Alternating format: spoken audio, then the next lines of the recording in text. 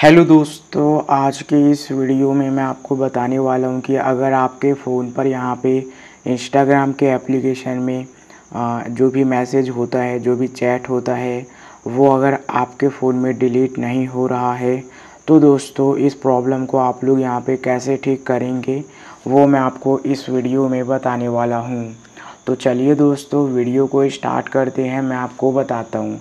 तो गाइज़ अगर आपके फ़ोन में इंस्टाग्राम पर मैसेज जो है डिलीट नहीं होता है चैट मैसेज जो है डिलीट नहीं होता है, और ना ही दोस्तों, इसको जो है डिलीट करने के लिए कोई ऑप्शन यहाँ पे आपको देखने को मिलता है इंस्टाग्राम पे। तो अब हम बात करेंगे कि आप लोग यहाँ पे इसको डिलीट कैसे करेंगे।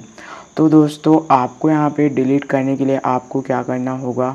आपको यहाँ पे जिसका भी चैट मैसेज आपको अपने फ़ोन से डिलीट करना है आप लोग यहाँ पे उस मैसेज को जो है ओपन करने के बजाय इस तरीके से लॉन्ग प्रेस करिए।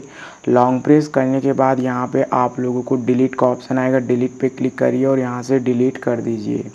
जैसे ही आप लोग यहाँ पे डिलीट करेंगे तो दोस्तों, आपके फ़ोन में जो इंस्टाग्राम में जो भी मैसेज था, वो सारा यहाँ पे डिलीट हो जाएगा और अब आपके जो फ़ोन है, उसमें जो है वो शो नहीं करेगा।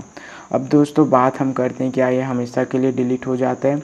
तो जी नहीं दोस्तों, जब भी वो जो है आपको यहाँ पे मैसेज करेगा तो वहाँ पे वो बंदा आपको मैसेज कर पाएगा और वो मैसेज आप लोग यहाँ पे दोबारा से फिर से देख पाएँगे।